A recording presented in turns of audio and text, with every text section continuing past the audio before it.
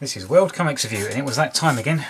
time for the Spring Shitennoji book sale. This time it's not cancelled edition.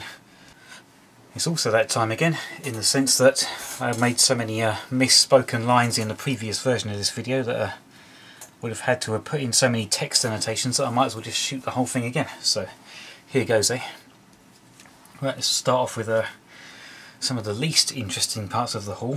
First one is this. It's um, Bera Bera Bera Bera Fuku, Volume 1. This is actually um, by Smash Station. This is a uh, Japanese to English phrase book aimed at um, Japanese people who want to speak English, but obviously it works both ways. It's got this um, oops, this blue thing to cover up the English, so you can practice cover up the English and try and translate from the Japanese and then reveal what it is and uh, the uh, kanji don't have furigana on them, which is like the little letters above that tell you how to read it. So you actually have to concentrate and study. This is a is that honmaya? Is that a Kansai phrase? Honmaya? Are you serious? So yeah, that's uh, going to be useful for studying some uh, studying some Japanese. This has been really dusty at one point, and the dust has kind of got um, integrated into it. And also in the previous version of this video I um, kept putting things like down here and talking about them, so yeah, try and keep them in the frame this time, eh? Right, that phrase book. Got a. This is quite interesting. It's the Underground Dictionary from, I believe, 19. slightly foxed, as you can see. 1971, I believe, and it's um like a dictionary for parents and teachers and the like to um understands the uh, oh 1971 understand the language of the various youth cultures like uh, bike gangs and uh, the gay scene and stuff like that and the hippies and drugs and stuff. So yeah various uh, 70s slang that will be useful if I ever want to do a story set in early 70s USA uh, I guess maybe I'll do something around the uh, the gay scene of the time and Stonewall and stuff like that at some point. Although obviously not from the uh, point of view of what you'd usually expect. Okay, onto the uh, badass paperbacks, and uh, here's British paperback. This is Straw Dogs, which was made into a pretty infamous movie in uh, the UK in the 70s. It's about um, uh, rich Americans who come to a um, kind of isolated British village and are really kind of patronising and annoying and uh, yeah, made into a pretty infamous movie in the 70s that I saw a retrospective about once, which is uh, one of my first introductions to uh, Germaine Greer and the phrase problematic, immediately uh, recognising my enemy, and I think I was still pretty left-wing back then. Okay, now another paperback. This is um, Some Prefer Nettles, which is uh, originally a Japanese novel by Junichiro Tanizaki, but this is a uh, English edition originally published in sometime in the 50s I believe. It's kind of a, I think it's set like early 20th century, late 19th century, like the um, Japan was opening up to the world and some people were sticking to the old kimonos and stuff and other people were more westernized with um uh, like western style clothes and electric light and stuff so give that a read at some point And uh, the last of the kind of factual books is this. This is Chop Suey, which is a, um, a Singapore comic, kind of. So there's originally four Chop Suey books. Uh, three were in English and Chinese, and one was only in Chinese. It's a bunch of uh, cartoon illustrations by um, somebody whose name I've now, which name I've now forgotten. But um, yeah, basically this uh, guy was uh, interviewed people and uh, did these pictures documenting uh, the Japanese occupation and various war crimes and atrocities. And uh, I don't know what this is exactly. But yeah, like um, the drivers of military trucks didn't care if they ran people over. and things. This, uh, I guess this guy's being boiled in a big pan of water to make him talk and stuff like that. So um, these are all of the uh, cartoons of uh, Chop Suey, um, which was released in as three books in Singapore in the late 40s. And then actually the artist himself and everyone kind of forgot about the um, forgot about him, and then um, they were put in a museum. Well, three of them were put in a museum, and there's no actual copies of the Chinese version, so they had to use a photocopy of it. And uh, then it got re-released as a book and translated into Japanese. So we got all the um, the uh, cartoons illustrating various war crimes, and then a long explanation at the back. And find the uh, the artist's name. Oh, Liu Kang. That's it. Liu Kang was the cartoonist who drew this, and then in the late 40s and then kind of forgot about it and then it was put in a museum and became famous again in uh, the 90s. Okay, that brings us on to the, uh, the Japanese things proper. So first is this one. This is uh, the Manga Tokuhon, which is uh, kind of interesting from uh, September 1957. So this is kind of interesting. It seems to be Japanese translations of uh, various newspaper cartoons from around the world. This is a obviously a British one and a Spanish one, a one about Spain. Oh yeah, it says Igirisu Spain. And yeah, different um, newspaper cartoons from around the world translated into Japanese to show people kind of a, uh, what the different cartoonists around the world are saying about the things that are going on in their countries and some actual uh, actual proper comic strips as well. I think it's mostly ones from Japan, but there's some international ones too, as in this Australian one by a uh, Kurt Fleming or Kurt Fleming, which is not a very Japanese sounding name. So it's got a kangaroo, so I'm guessing he's Australian. Uh, I think I saw some Blondie in here too, the uh, long-running American comic strip. And yeah, as I say, it's many different um, cartoons from many different countries. You might notice they're all pretty much the same style, so uh, this is kind of a pretty ugly looking art style that was quite common in the late uh, 50s and late 50s, early 60s. This style, it even showed up in Eagle on occasion, so um, yeah, although these days we laugh at the likes of uh, Jamie Smart and here's some Blondie so yeah, these days we laugh at the likes of Jamie Smart and Erica Henderson and um, even Narwhal. But uh, the 50s weren't all Frank Hampson and Frank Bellamy. They had their fair share of crap as well. And yeah, this kind of uh, this sort of style was pretty persistent around the entire world, it seems. And uh, yeah, you might think it's a bit weird that there's a, a bookmark. That's a it's an old bookmark or something. This is like silvery foily paper. Don't know what that is. been left in there by somebody. So yeah, you might think it's kind of weird that there's like a, this magazine of um, newspaper cartoons from around the world, but actually this isn't the only one. So uh, several years ago, on a short visit to Japan, I found another one just like this, but I'm sure it was called something else, and I bought that. So yeah, at one point there was actually two magazines showing um, different newspaper cartoons from around the world. But uh, yeah, that's kind of interesting. Manga Tokuhon from 1957. And uh, I didn't go and say it was from the 70s and not catch myself this time, so that was lucky. Right, what else have we got from Japan? Save the interesting ones to last. Um, we have... Oh yeah. So you just saw some Blondie in that. So here's an entire book of Blondie translated into Japanese. I bought one of these last time too, but uh, at the present time, my previous haul video from the Shitennoji sale sits at zero views, so uh, no one's actually seen that. So anyway, here's another one. So this is um, Blondie translated into Japanese, and it is, oh yeah, some colour too. Just a few colour pages, but um, the speech balloons are translated into Japanese, but the original dialogue is underneath, so you can kind of use it for study or just uh, read it for entertainment.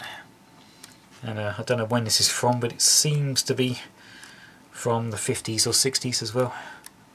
Just looking at like um possibly some of the actual strips are older from the 30s and 40s, like this old style fridge.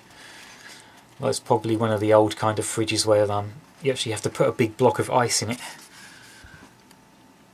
So yeah, these are possibly um, books probably from the 50s or 60s. It cost 100 yen when it was new, so um, I'm pretty sure before the war 100 yen was considerably more.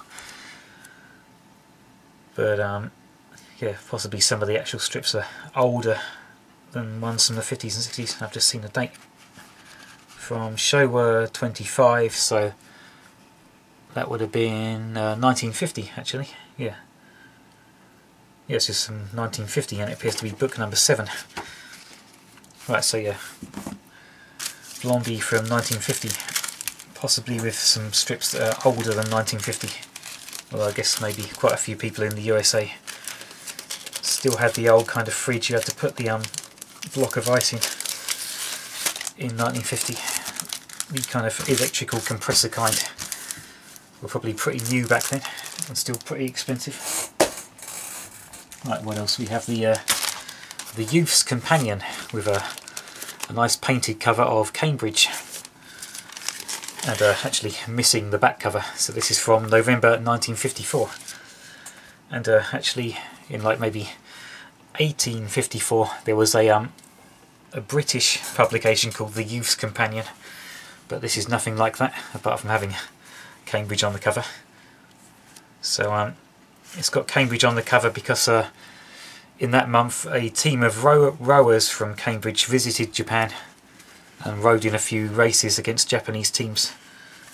So this and here's um, some pictures of them visiting around uh, Mount Nikko National Park which I went to in 2009 and there's a picture of uh, Baker Street in the 1950s so this is um this magazine's aimed at studying English. So we've got English sections and then Japanese translations. Japanese essays with explanations of um some of the phrases that are being used. Or example sentences and things. And sections on famous uh, English and American writers. Uh, article about Royal Albert Hall, and uh, there's an interview with the um, with the Cambridge rowers, completely in English. Yeah, here we are. It's the uh, Cambridge rowing team talking about their experience of Japan, and also this is a time when the Japanese self-defense force was first being built up. So they're talking about what do you think about Japan rearming and uh, they're saying that there's a lot of uh, communist revolutions going on around China and Southeast Asia so Japan needs to protect herself and further on there's like a mini English newspaper. Here we are. Mini English newspaper the YC Times talking about um, communist China raiding a bit of Taiwanese territory. And uh, they call Beijing Peiping and Taipei is Taipei. And uh, some other small small articles and one about um, uh, President Eisenhower banning the uh, American Communist Party some cartoons as well with English captions and uh, some uh, corrections of both English and Japanese showing uh, mistakes people have made. I don't know if readers maybe sent these in. And uh, the editors correct them and explain the mistakes. And uh, there's a old subscription form in here as well. So yeah, unfortunately missing the back cover. and It still cost 500 yen, but um, yeah, that's the uh, Youth's Companion of November 1954. For very nice cover. Got to find some more of these if they're all up to the same standard. possible bias because I come from Cambridge as well, but never mind. Right, let's, um, okay, the interesting things to me anyway. We have two issues of Fuji, which is obviously the, um, was the wartime name of King, Japan's most popular magazine of the time. So this one is from Rokugetsu Showa Jukyu. So uh, this is June 1944 and this is October 1944 and of course horizontal Japanese was read this way at the time as I keep explaining every single time. Quick look in some of these. Very thin of course by this time because of uh, paper shortages and uh, very badly printed. It looks like a 3D picture but it's not, it's just really badly printed. All the colours are off register. Uh, how some sort of radio location thing works, possibly to find submarines or to guide bombers.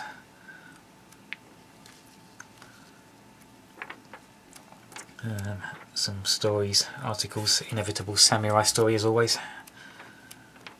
Some uh, articles about various soldiers, sailors, airmen, I don't know if they're like people who recently got medal, medals, recently died in heroic circumstances and so on. More stories, picture of some factory workers making uh, war materials. Very ghostly, poor quality printing of the wash illustrations. More samurai stuff. Uh, some cartoons about everyday life and wartime preparations. Got the uh, shrapnel hoods. Like padded, um, you can still buy these actually, I just recently discovered. But um, like a thick hood you tie around your head and they were meant to protect from shrapnel. You can still buy them if there's earthquakes, although um, obviously more people prefer the plastic hard hats these days. Carefully put this one back in. Uh, maybe later, take up too much time in the video. Try not to make this ridiculously long either, and here's one with a, an air raid warden and some adverts on the back. You could still buy stuff at the time. I've got another magazine somewhere from much, uh, possibly November, December 1944, possibly January 1945, and there's no advert on the back. It's just like, let's fight harder, because by that time there was hardly any factories. So there was no consumer goods to consume, so they didn't even bother advertising. Let's put that over there. Okay, right, last Japanese thing is this. It's Lone Wolf and Cub, a American edition from 1989. And uh, they've resisted the temptation to colorise it, so it's still in black and white, although it's been blown up to the uh, American size, and it's just one chapter per month in the American format. That's uh, 64 interior pages, I believe, yep. So yeah, this is um, at the time an early example of manga coming to the USA. And they didn't really know how to do it, so sometimes they colorized it, but they always kind of blew it up to American size and published it one chapter a month. Although of course because it's uh, seinen, the original anthology it was in probably published uh, one chapter a month. Whether that was amongst many other stories by uh, Kazuo Koike and Goseki Kojima. And this cover is made in the USA. So, yeah, because obviously in the original serialization it would have been one chapter a month in an anthology. Lone Wolf and Cub wasn't always on the cover. So um, they've had to come up with new colour covers for each of these American editions. And uh, no adverts on the back, just like a thing you get on a book, a blurb, and um, oh all um, flopped as well, so it opens this way. So uh, that brings us on to something interesting over here. Right. So uh, yeah, the early wave of uh, manga being released in the USA. Somebody thought, I know, they have comics in Hong Kong as well. Why don't we try blowing those up to American size and releasing them? So, boom, they did. So this is um, the, published by Jademan Comics, which is actually a um, Hong Kong comics publisher, I believe. If uh, what I can remember from reading about reading about Hong Kong comics in a book is true. Jade Man was a big cover, um, big company then, and uh, this one uh, illustrated and written by Ma Wing Shing, but um, scripts by Mike Baron of uh, Florida Man fame. So I don't know if the script means he um, but they translated it to English and then he refined, like got a native speaker to refine the script, or if this was a uh, Hong Kong and USA collaboration. It's called The Blood Sword and it's they've kept in the um, Chinese title uh, too. But anyway, these have been colorized from the original black and white that they would have been. But the colorization has actually been done quite well. So uh, they haven't just kind of made it really bright and garish, they've actually done like um, some nice maybe airbrush or early CG colouring, like soft subtle tones and gradients. some of these like um one colour wash colours so the uh, colouring is actually quite sympathetic to the um to how these would have originally been in black and white and uh, a great deal of like kung fu gun fu uh, blow by blow scenes of fighting and yeah pretty cool some of the dialogue's kind of like uh, a bit cheesy and kind of weird like it's been translated a bit too literally people explaining their um explaining the names of their techniques as they as they use them. But yeah, pretty good. Yeah, loads of this blow by blow action. And uh, yeah, nicely sympathetic colouring to the original black and white work. So uh, pretty cool. So we've got a go through all of these. We've got the blood sword with uh, some some contribution by Mike Baron of Florida Man fame. I've got Florida Man to hand actually. I don't think so. No, it's upstairs somewhere. Yeah, we've got the Blood Sword by Ma Wing Shing. Um, the Force of Buddha's Palm by um, I don't know. They're all they're all by Tony Wong or is it Joni Wong because it's a J, but I think it's like Tony Wong. Is the uh, guy from Hong Kong. There is a report of him going to a convention in the back of one of these. Going to a Isha, going to a convention in the USA. I don't know which one it's in. Oh yeah, these um yeah the uh, letter pages are a bit weird. I think the people who wrote the letter pages, or like um prepared the letter pages were not very good at English. So there's um, it's like if somebody was from um, Las Vegas from Nevada. So you can see like the A wasn't properly joined, so they assumed it was a U. And the N in Nevada maybe was a lowercase n with a bit of a too long H, so they assumed it was Nevada. So um, yeah, not um, yeah, weirdly prepared letters pages.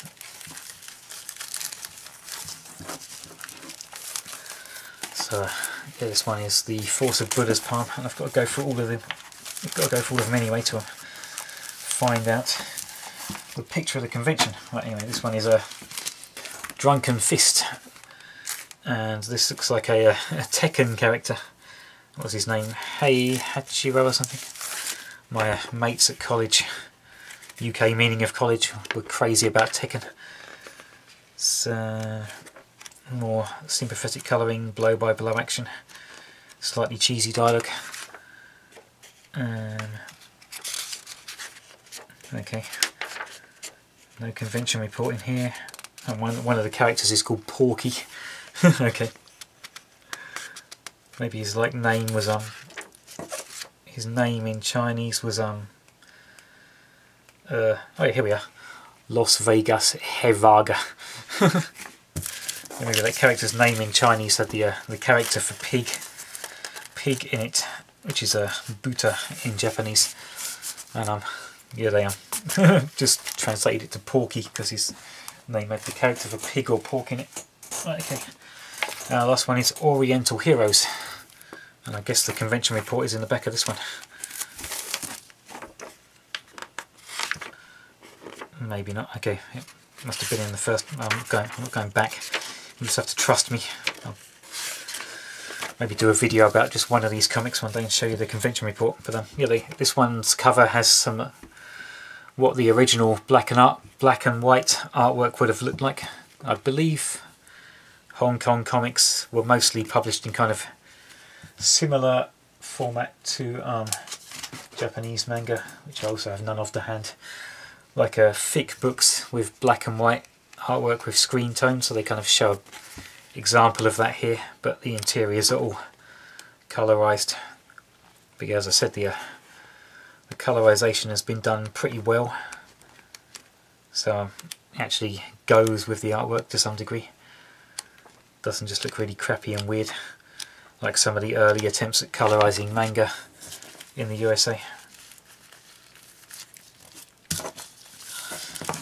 You get to watch me rebag all of these. Don't worry, I'll speed it up if I can uh, wrestle with Vegas Studio and work it out to actually speed up a section without ruining the continuity. Yeah, don't buy Vegas Studio by the way.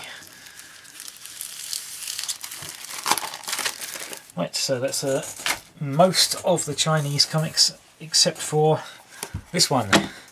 This is an actual Lian Huan Hua, the uh, landscape format. Um, kind of like the style of picture books for young children, but with more like mature writing and stories. And uh, landscape format. So this is a uh, Lian Huan Hua from 1982, October.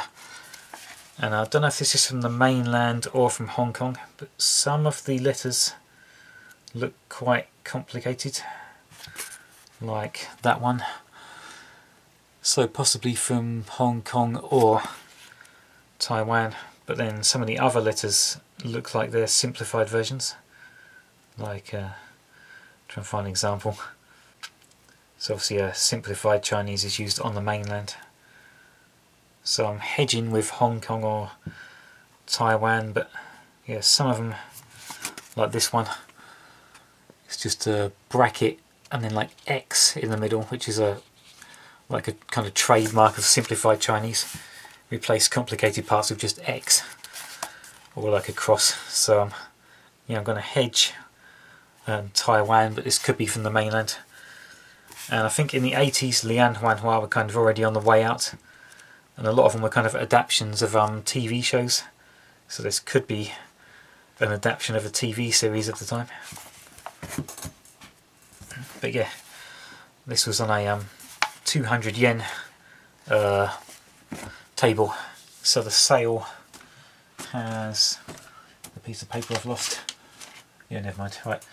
So there's four 200 yen tables scattered around the sale and um, each time you buy one book at them you get a stamp and if you buy I think 4,000 yen's worth of um, books from each of the four 200 yen tables you can get a voucher for a whole 500 yen off after spending 4,000 yen and yeah this was sticking out of one of the 200 yen tables so I went like uh, went back to the same place three or four times over the week the sale was on looking for any more but looks like this was the only one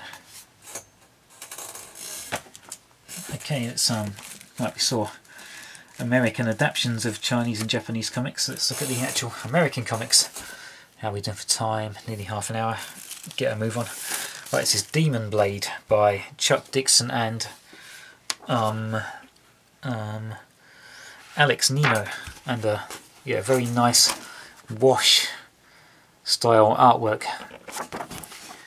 uh, throughout. And this is about a samurai who gets hold of like a cursed sword from a mad a mad murderer. Uh, the samurai kills him and the murderer's like, before I die, promise me you'll take my sword. And he doesn't know that there's a, um, a curse on the sword that makes him hallucinate uh, that people around him are monsters or enemy ninjas or whatever.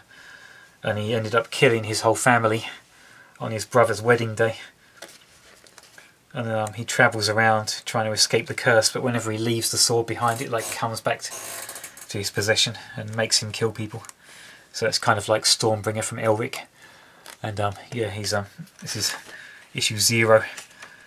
Oh, okay issue a special one but uh, Demon Blade 1 the actual number one So this would have been called an issue zero in more recent times. It's like an introduction to the story and he has to go and find out whoever forged the sword and put a curse on it is um who he has to kill and wouldn't you just know it it was forged by a family of mad samurai so he's got to fight through his way through all of them to get to whoever put the curse on the sword. So that's a demon blade. Next is Grimjack by, from First Comics. John Ostrander and Flint Henry. And this reminds me of um reminds me a lot of a star what do you call it? Star something which I've gone and forgot the name of now but um it was recently uh, there was another series in the 80s and um, then was more recently had a crowd-funded graphic novel made on Indiegogo.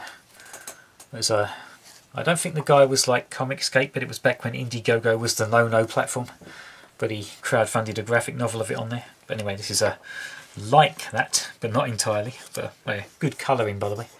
Similar, similar colouring to those Hong Kong comics, but um, obviously this was made to be coloured.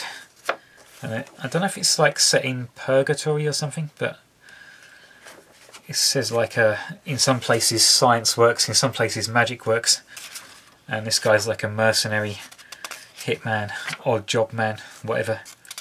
And there's aliens and monsters and people with powers as well. There's Nexus as well. Um, yeah.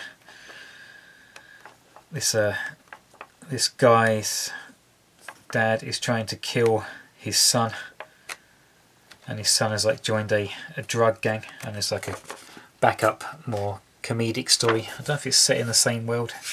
I don't think so. That's just something different. Oh no, I think this is actually.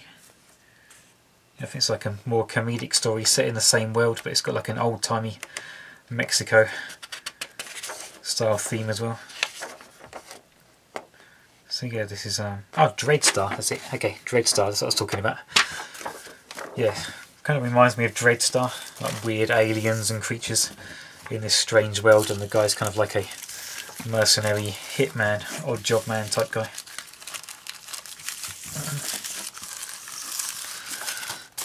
Okay, so that's uh, Grimjack, issue 59 from 89. Okay, let's go on to right, last of the 80s indies. This is from, oh, okay, not an indie, this is a the Epic Comics imprint of Marvel, and this is Crash Ryan, which looks pretty cool. This is a uh, the premise is basically what the 30s thought the future was going to look like, even though it was made in the 80s. But um, somewhat disappointingly, it's also set in 1935, so they should have like um set it in 1950 maybe, but like the 1950 the 1935 yeah so 1950 as 1935 thought it was going to be. And yeah it's got these weird advanced but still propeller planes and then at the end this um these gigantic planes inspired by uh, Wings Over the World from the uh, 1930s Things to Come movie and that big plane the Soviet Union built which I think actually flew once the uh, the plane that had tank cannons in it. I forgot what it was called. So it's a Crash Ryan by Ron Harris, and I've got to track down the rest of this somehow, somewhere. Don't think I'll find it just sitting around in Japan. Might be an eBay job. Okay, also found some Archie. So here is Katy Keene, the uh, the supermodel, which is a bit weird and uh, decidedly B grade Archie artwork so this cover looks quite nice but uh, yeah the interior artwork leaves something to be desired so yeah she's meant to be a supermodel but looks kind of weird and ugly and uh, this is kind of interesting in that um, the uh, the readers contributed to this comic so um because she's a model she shows off various clothes this uh, winter outfit, outfit, summer outfit and so on. But these were all designed by readers and like submitted submitted by the readers and then drawn into the comic. And uh, yeah, here's uh, Katy Keene herself, the uh, supermodel. Her sister, who is like has freckles and glasses, so it's probably supposed to be the ugly one, although actually looks more cute. And then her boyfriend, who's like this giant guy. I guess this is Katy Keene's mother, maybe. And um, yeah, all the way through. So this is like actually like a cut out and stick on a fashion page, but all of these costumes are also designed by um, designed by readers. And uh, yeah, but like also just in the story as well. The clothes are all designed by readers and sent in. And uh, yeah, very 80s style for Sis. she hasn't got a name, it's just she's just called Sis. and uh, yep, here's a whole like big montage page of all the characters. Because this is the Christmas issue for 1988. And I got this off the same stand that I got the um the Hong Kong comics and those 80s indies off. But by pure coincidence, elsewhere in the sale, I found another couple of Archie Christmas issues. These ones are from 1980. So yeah, just by pure coincidence, there was another two um, Christmas Archie comics at the sale. And um, this is Betty and Veronica's Christmas Spectacular. And uh, yeah after the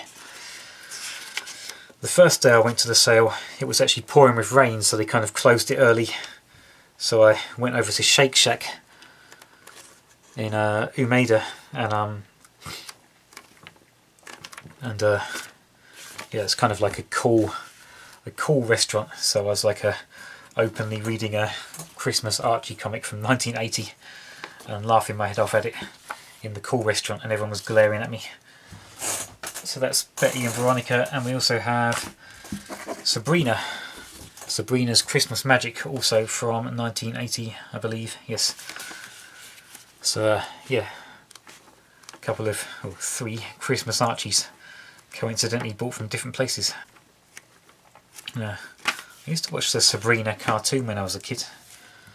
Uh, the old Cartoon Network and uh, the Children's Channel didn't have much of their own shows back then, so they showed loads of obscure old stuff.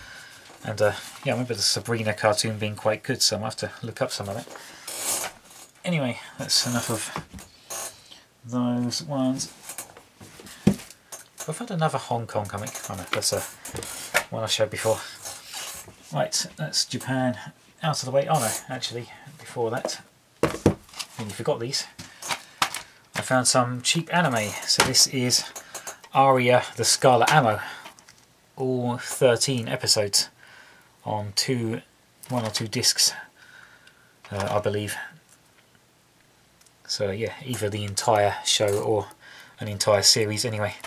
And you may notice this is actually a UK edition with the uh, BBFC rating on. So uh, yeah, I might watch that sometime. I don't even like anime that much, but um, it's only 200 yen, so why not? I've just noticed it's by Funimation, so I'm yeah probably completely switched around, changed woke art, uh, woke dialogue maybe. Although this is from some time. All the copyrights are covered up. Yeah, maybe it's old enough to not be wokeified. Maybe they've actually translated it more or less accurately. Especially because it's 15 so they haven't tried to kidify it like they did with uh, with One Piece. Hopefully maybe. Okay and also uh, Dirty Pair. Nice 80s classic. This is a Canadian edition I believe. And also 200 yen the uh, OVA collection I think it's 10 episodes on two discs in separate packages uh, yeah, 10 episodes of Dirty Pair, the uh, great classic uh, crazy 80s anime. And um, yeah, one of these still had the uh, alarm tag in it from uh, whatever shop it was bought from in Canada. So I went into a camping shop with it to look at the uh, solar generators and I set off the alarm on the way out And yeah, the alarm tag thing was still inside one of these DVD boxes. Which is a bit weird. I had to rip that out. And, um, right, so that's the Japanese ones out the way. So the last two things are from... Yep, I had to get some stuff from that country. So this is some North Korean comics. But this is actually well printed, glossy covered, because this is actually made in Japan by the uh, Chongnyon organization based in Tokyo. So it has a Japanese address on the inside. This is from 1995 and uh, they don't give a Juche date because uh, the Juche calendar had been was I think that was invented in 2002 but yeah it's from uh, the Chongnyon North Korean uh, residence organization. And um, it's kind of like a many many short um, comic strips and a few text stories and articles with very propagandized stories about North Korean history or uh, the history of the whole peninsula I guess at the time. And um, yeah lots of uh, peasant uprisings and anti-foreigner revolts which are all I suppose being reframed as great socialist upri uprisings to create a um, glorious brotherhood of equality. Although somehow there's also still a monarchy for centuries and centuries. See the uh, westerners Chinese, Russians, Japanese all invading Korea being overthrown. Or I guess some possibly some domestic uprisings against tyrannical monarchs as well. And I guess all being reframed as these uh, great uprisings of the uh, people of equality and freedom who then appoint then install another monarch somehow until eventually they finally did get communism for real in uh, 1945 so I guess the last few stories are about um here's the uh, American capitalists the Americans Russians and I guess British here's the um the uh, the British and the Japanese deciding to carve up Korea amongst themselves, which is uh, exactly what happened. There wasn't any kind of... Yeah, the uh, British and Japanese never fought against each other at all, of course. So yeah, that's um the oh, it appears to be book three. So I guess there's another two volumes focusing on earlier history back in the day. Oh, it's actually yeah starts in 1863. So I guess uh, the earlier volumes go back in time, uh, fighting off Chinese invasions and the earlier Korean, uh, the earlier Japanese invasions even. I think uh, the uh, Japanese isolation period started because they uh, um, failed to invade Korea in 1590 something, so decided to just completely close their borders and isolate themselves for 250 years. I wish Britain had done the same thing instead of having an empire. We'd be so much better off now, wouldn't we? Okay, and um, right, last thing from North Korea. I think I'm sort of sure I bought three things from North Korea, but never mind. Right, anyway, it is a bit weird. It's boom. Yes, this is Anne Frank's Diary, North Korean edition. Actually made in North Korea, so even though it's from 2002, the uh, quality of printing is actually vastly inferior to this one made in Japan in 1995 and they had the uh, Juche dating system then so 2002 was Juche 1991 I mean Juche 91 even I think they count from 1912 or 1911 when um, Kim Il-sung was born and um, yeah, so push out the uh, push out the Nazis. Well, actually, the swastika this way round and not tilted is actually more of a Hindu symbol than a Nazi one, but never mind. And this is a uh, Anne Frank's diary. So um, here is the doorway into the uh, uh, what did they call it? The uh, Het Uiterlijks, uh, the annex, is what Anne Frank called it. That's their crude cooking facilities. Uh, the street during the German occupation and her identity documents. and yeah, I can't read Korean at all, of course, but um, yeah, for some reason I doubt this is a exact translation of Anne Frank's diary. There was um, uh, like she possibly made references to um, hearing about people who said the wrong thing on the street and were dragged away by the police and never seen again. And um, I guess if she wrote anything like that, I guess the North Korean translators maybe kind of cut that bit out because um, people in North Korea who read this and hear about like secret police dragging people away might start to kind of wonder about things happening in their own country. So yeah, I doubt this is an accurate translation, but uh, interesting all the same. a bit of water damage because uh, it was raining and I guess some drips got on it. So I didn't buy it on the first day first day of the sale. The uh, second day of the sale, I had a terrible hangover. The third day of the sale, it was also sunny, so I bought it then when it was dry.